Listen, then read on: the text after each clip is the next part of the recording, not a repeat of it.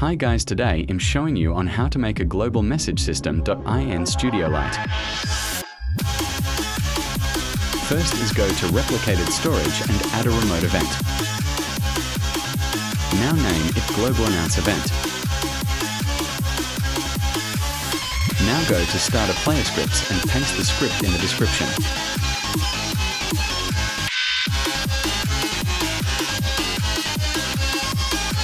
Now go to Server Script Service and paste the script in the dot description. You must change the local ANRI to yours. Let's test it out.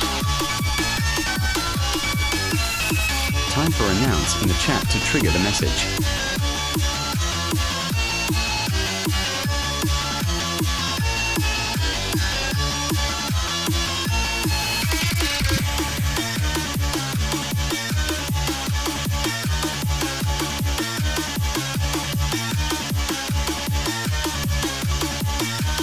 That's all guys, thank you for the 1k subscriber.